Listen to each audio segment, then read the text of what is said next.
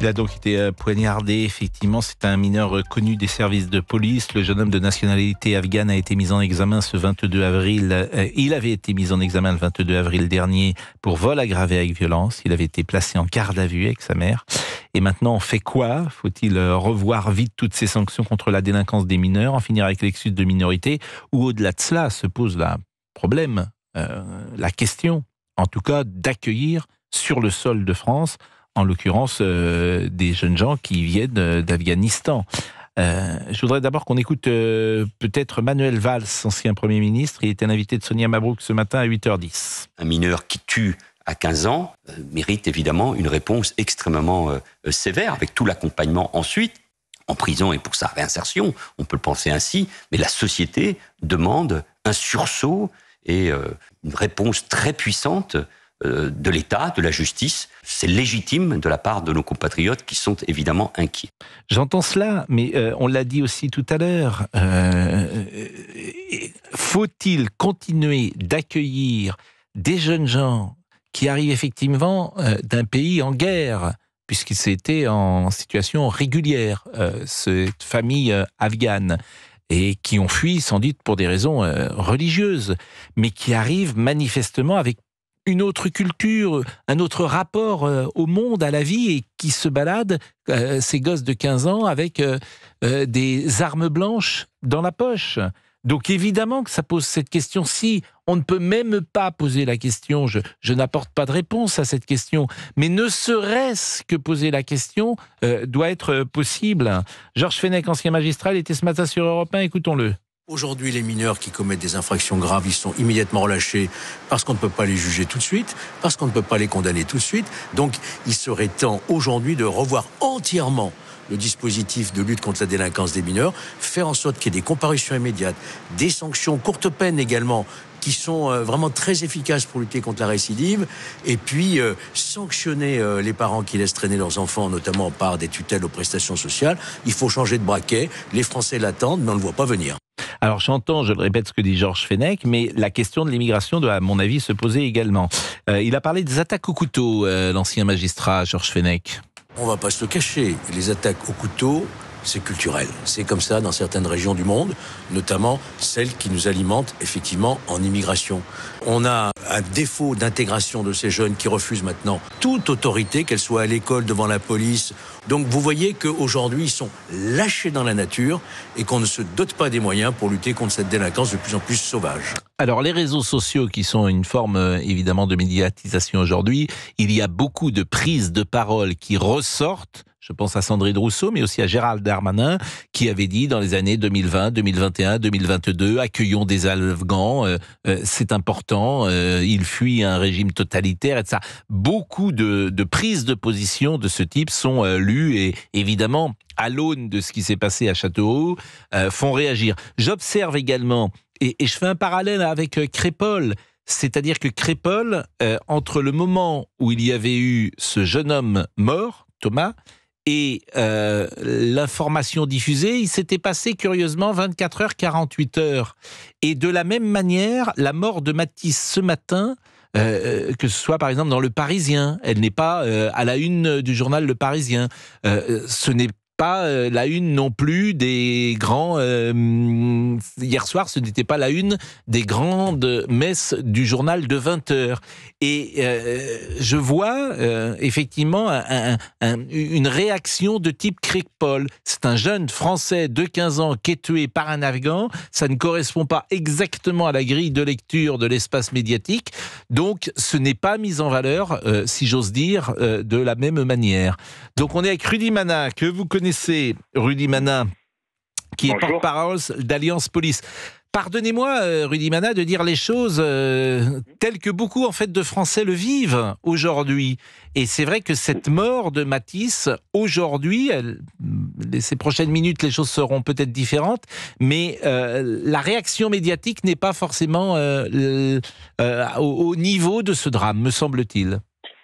Oui, alors vous savez, moi, ce, drame absolu, hein, parce qu'on ne le dit pas assez, mais la, la famille de, Matisse, elle, a pris perpétuité hein, dans la douleur qu'elle va vivre jusqu'à la fin de ses jours.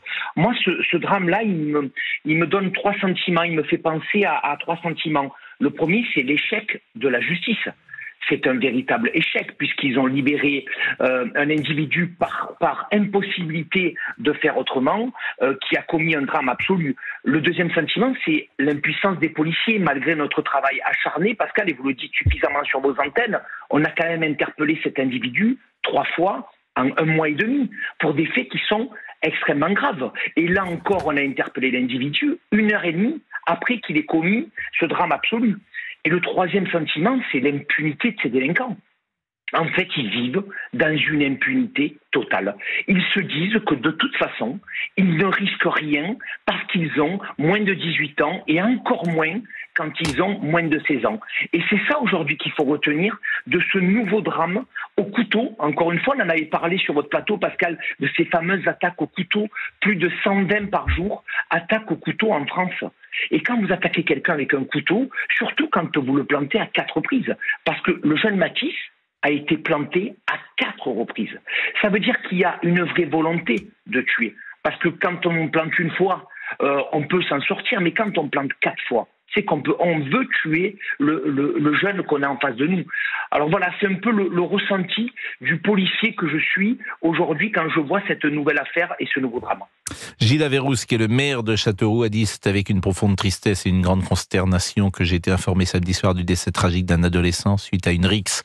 Mais là aussi, le mot rixe, moi, est-ce que c'est le mot qui convient euh, euh, dans les propos dans le tweet du maire de Châteauroux suite à une rixe. C'est pas ça une rixe, me semble-t-il, survenue aux alentours de 17h30 au quartier euh, du Saint-Denis. Mes pensées vont en premier lieu aux parents, à la famille et aux proches de la victime, à qui nous adressons nos plus sincères condoléances et tout le soutien des Castelroussins.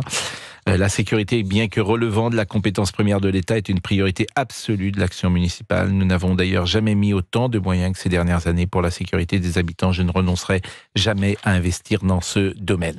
Alors les réactions, comme toujours d'ailleurs, c'est ça qui est terrible aujourd'hui, elles sont plus à droite qu'à gauche. Chez Jordan Bardella, qui dit c'est un nouveau drame lié à notre politique migratoire. Le jeune Mathis, 15 ans, habitant de Châteauroux, a été tué au couteau par un mineur afghan, tout juste relâché par la justice. J'ai une peine immense pour sa famille et une colère immense euh, pour nos dirigeants. Eric Ciotti également, le tueur avait déjà été mis en examen la semaine passée. Pour lui, aucune tolérance, c'est la prison et l'avion, euh, est-il dit, etc., etc. Mais on voit la polarisation aujourd'hui de la vie politique qui fait que, euh, et même dans la vie civile, il n'y a pas eu de tweet de personnalité pour saluer, pour, et pour hélas, honorer en, tout cas pour, regretter la mort euh, de Matisse, euh, Rudy Mana.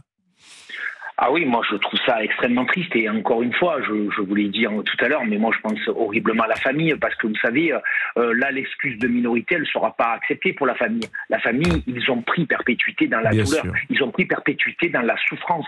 Il y a un gamin de 15 ans qui, qui, qui est décédé à, à, à, cause de quatre coups de couteau. Alors moi, vous savez, euh, le maire de Châteauroux, je crois que c'est lui que vous citiez tout à l'heure, il parle de Rix. Bon, vous savez quoi, il en sait plus alors que nous, parce que nous, nous-mêmes, on ne sait pas exactement ce qui s'est passé. On verra ce qui s'est passé cette affaire, mais moi, ce que je retiens, c'est le drame.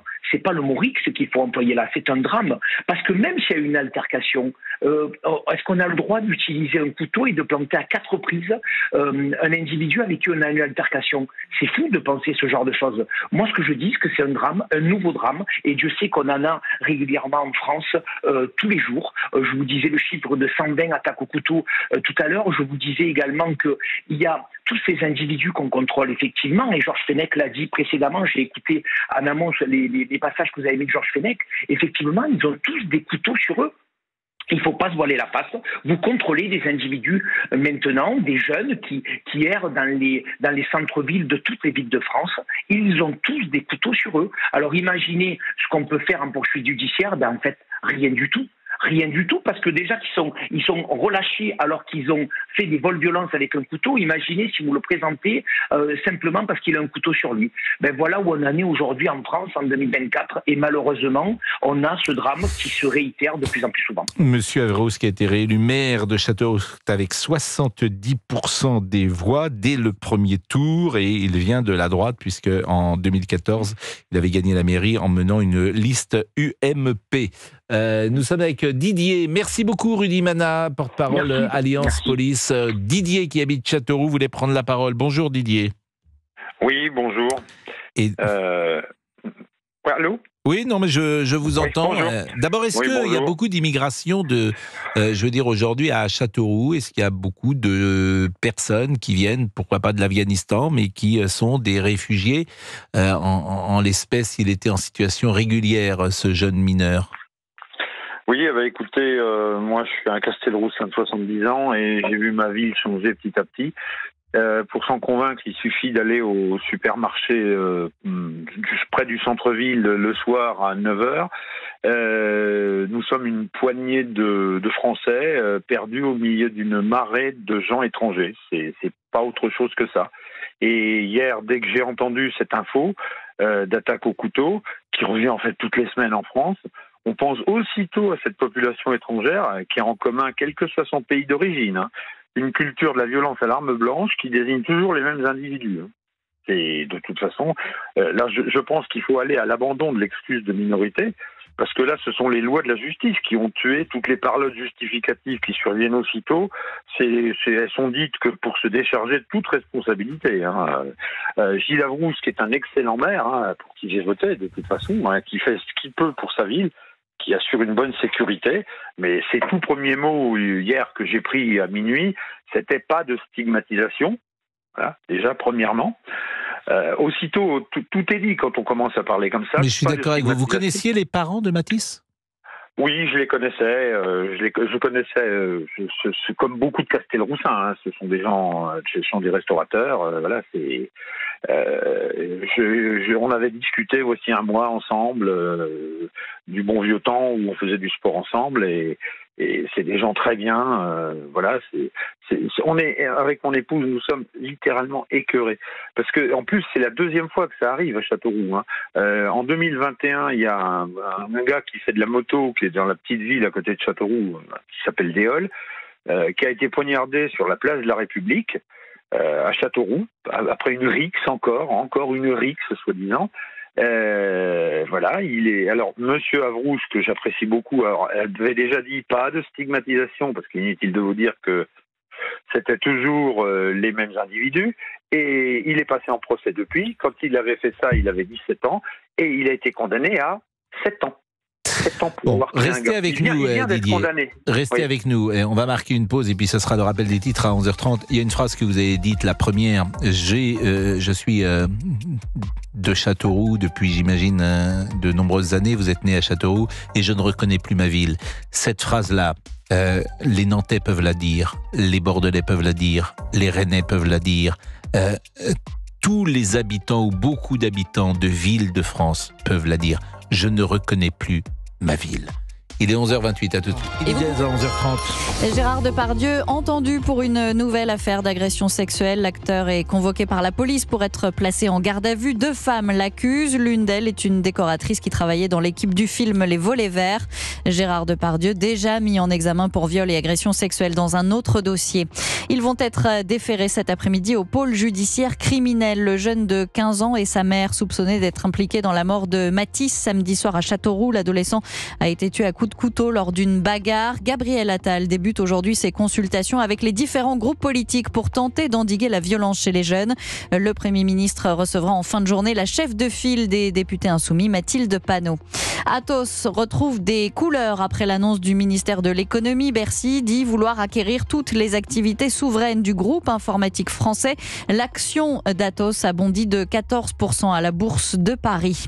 Pedro Sanchez reste au pouvoir. Le Premier ministre espagnol vient de l'annoncer. Pedro Sanchez fragilisé par une enquête ouverte pour corruption et trafic d'influence contre sa femme. Et puis les températures s'annoncent plus chaudes que la normale de- en France de mai à juillet. Une prévision de Météo France plus marquée De- de- pour les mai, régions. Maintenant, on est sur des prévisions à 4 mois. Oui.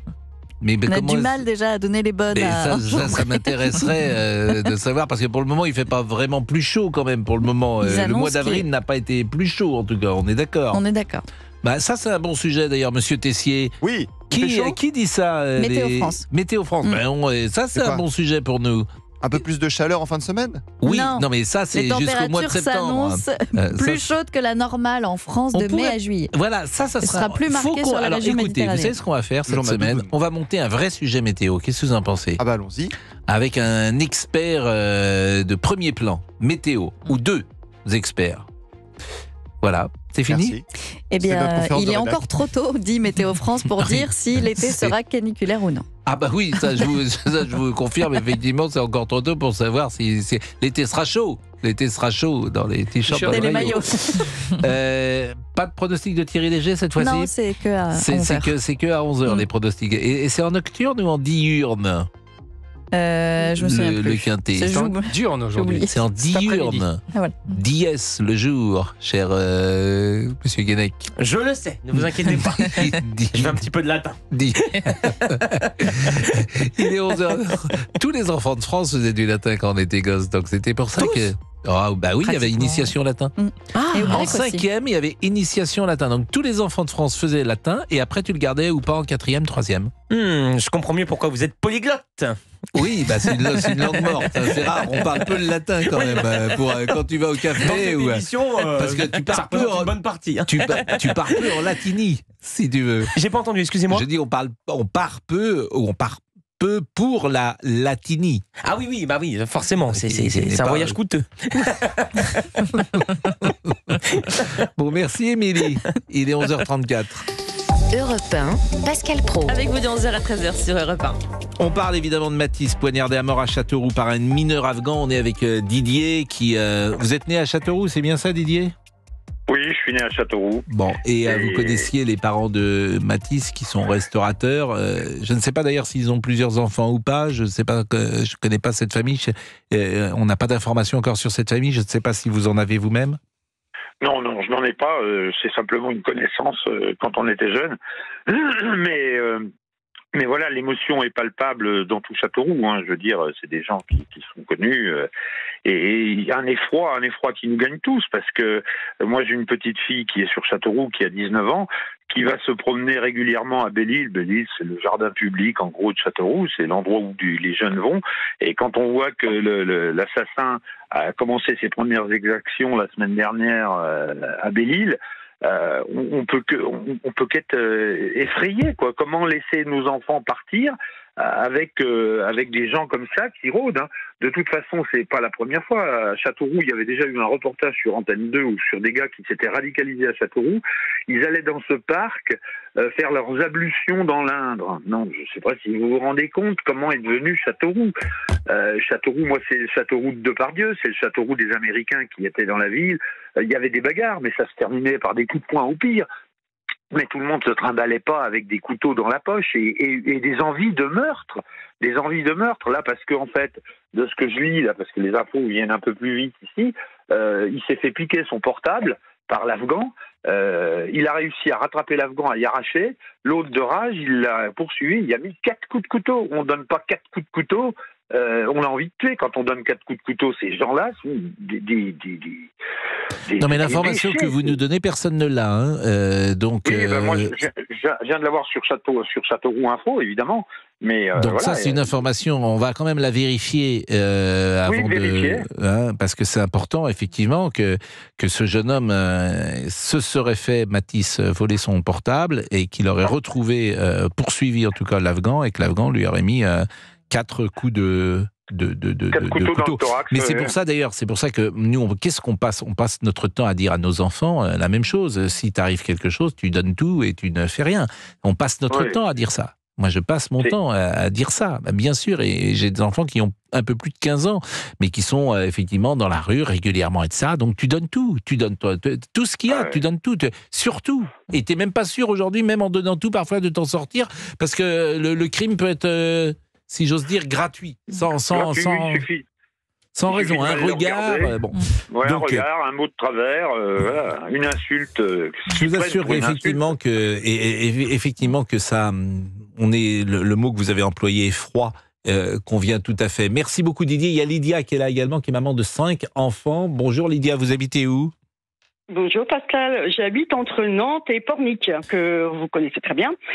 Bon, qui est une région a priori qui était calme. Je ne sais pas comment elle, est aujourd'hui entre Nantes et Pornic, mais c'était c'était pas une région euh, il y a quelques années qui était euh, soumise à la grande criminalité qu'il n'est toujours pas, ma foi, mais, mais, mais nous nous y approchons puisque euh, Nantes a tendance à déborder euh, sur nos petits villages, euh, qui, qui, malheureusement on, ramène ces gens vers nous dans nos petits villages. On est obligé de les accepter parce que, ma foi, nous avons des maires qui sont un petit peu pris à la gorge, où on leur dit mais il faut construire, il faut investir, il faut mettre des logements sociaux pour pouvoir accueillir ces gens. Et là, malheureusement, nous sommes nous aussi dans nos petits villages confrontés à ce genre de problème. Euh, vous avez quel âge ont vos enfants? Oh là, ma foi, entre 2, 32 ans et 13 ans. Et euh, vous les mettez en garde Ils prennent eh des précautions. Euh, Sur les cinq enfants, vous avez combien de filles? Alors, j'ai trois filles, les trois dernières, 25 ans, 14 ans et 13 ans. Est-ce que vous êtes plus inquiète pour vos filles que pour les garçons? Bien sûr, bien sûr que je suis plus inquiète pour les filles que pour les garçons. D'autant plus que euh, au quotidien, les, ça nous démontre, on nous démontre aussi que les filles sont aussi agressives que les garçons. Donc, je, je, je, je fais tout, je fais tout pour qu'elles ne le soient pas. Nous avons une éducation qui fait que nous devons respecter la police, nous devons respecter les forces de l'ordre, nous devons respecter les institutions telles qu'elles soient. C'est la base. Pour moi, c'est la base. À partir du moment où vous apprenez à vos enfants à ce respect, il n'y a aucune raison qu'on aille euh, agresser, poignarder. Euh, euh, vous voyez ce que je veux dire? C'est la base. C'est uniquement ça. Moi, aujourd'hui, j'ai honte j'ai honte. J'ai pleuré cette nuit. J'ai pleuré parce que encore, encore, j'en ai marre de ce mot encore. Non, c'est trop, c'est beaucoup trop. J'ai honte de cette France. J'ai honte de ce, gouvernement qui laisse faire les choses. Voilà. Je, et mes enfants, je les oblige à, à faire face à ça en leur disant, voyez ce qui se passe? Vous voyez, vous êtes acteur de ça. Et je ne veux pas que vous soyez acteur de ça. Voilà. Alors c'est vrai que ce gouvernement vient après d'autres gouvernements qui ont une responsabilité. En fait, c'est 40 ans. Hein. C'est 40 ans euh, de mauvaises décisions, 40 hein. ans euh, de vagues successives d'immigration, 40 ans de l'asile, euh, le de roi d'asile dévoyé, parce que c'est extrêmement important aussi. C'est 40 ans de contrôle aux frontières qui n'existent plus. Et c'est ce que disait Didier il y a quelques instants. je ne reconnais plus ma ville de Châteauroux. Mais dire cela euh, pendant des années, c'était être considéré comme un homme d'extrême droite. Donc, euh, et la droite française, euh, qui était piégée par ce discours, n'a pas su tenir un discours différent. Donc, bah, vous avez aujourd'hui les conséquences de toutes ces politiques qui ont été menées en France. Voilà. C'est ainsi, et je pense que ça ne va pas être simple d'inverser euh, la courbe, si j'ose dire, Lydia. Euh, ça peut l'être, Monsieur Pro. Ça peut l'être s'il y avait juste un mot qui se mettait un peu plus en, action, c'est le mot courage. Nous avons aujourd'hui des politiques qui n'ont le courage de rien. De rien. C'est vrai, non, mais on l'a vu avec la séquence Sciences Po. Je ne sais pas si on, aura le temps d'en parler tout à l'heure, mais la séquence Sciences Po, c'est un révélateur du manque de courage. Vous avez 200 200 activistes qui se prennent pour des Che Guevara en barboteuse, et vous avez Sciences Po qui plie, le gouvernement qui plie, la ministre de l'Éducation euh, supérieure ou de l'Enseignement supérieur qui plie, le gouvernement Attal qui plie, Monsieur Attal qui bandait les muscles en disant vous allez voir ce que vous allez voir, vous savez ces formules, on sera intraitable, on ne laissera rien passer. Eh bien, 200 activistes arrivent à euh, avoir le dernier mot, c'est-à-dire qu'aucune sanction ne sera, euh, ne sera émise contre eux. Qu'est-ce que vous voulez faire dans ce pays? En fait, je pense qu'il n'y a plus grand-chose à faire. Souvent, moi, je, Lydia, je dis c'est fichu, donc on me reproche euh, de dire ça. On me dit t'as pas le droit de dire ça. Bon, bah écoutez, on, tous les jours, c'est un peu plus fichu. Donc que le gouvernement montre que, que le gouvernement même à, demander, à, me demander si je vais pas demander un asile politique, moi, pour partir, effectivement. Oui, oh, ouais, mais on aime trop la France, d'ailleurs. Mais, on est, on est là où vous avez raison, c'est qu'il y, a une, il y a un mélange de honte, de colère. Mais j'ai envie de dire, euh, on n'a même pas le droit nous de dire ça par rapport aux, aux parents de Matisse. Voilà, la, la vraie Bien colère, sûr. la vraie, la vraie, Mais- la vraie tristesse, mais le vrai chagrin. que je pense, Bah, mais bien évidemment, sûr. voilà, on a même Et pas- c'est pour ça que dans mon post que j'ai mis sur Facebook, j'ai demandé pardon, pardon Mathis, parce que pardon, on a laissé faire les choses. Et, et maintenant, et maintenant, et maintenant, et le point gros point d'interrogation, et maintenant, qu'est-ce qu'on va faire de plus? Parce que rien ne bouge depuis des années, rien n'est fait, et c'est encore, encore, encore un de plus. Et j'en ai marre d'entendre un de plus. C'est pas normal, on ne doit pas parler comme ça d'un enfant. C'est pas un de plus, c'est un de trop. Voilà. Écoutez, euh, merci euh, Lydia en tout cas de, de ce témoignage. Il y a beaucoup d'émotions ce matin et c'est bien d'entendre les auditeurs. Olivier Guénec. On a beaucoup prendre- de réactions sur la page Facebook. Rémi euh, nous écrit ça pourrait être mon fils un jour à qui ça arrive. Il faut que ça change. Il y a trop de laxisme depuis des années de la part de nos dirigeants et maintenant on le paye cash. Euh, Joséphine également sur la page Facebook. J'en ai marre de ces drames suivis de marches blanches et de bougies allumées qui ne changeront rien. Évidemment, euh, évidemment, c'est que c'est les marches blanches et les. Il faut changer beaucoup de choses en France aujourd'hui. Et c'est un état d'esprit qu'il faut changer.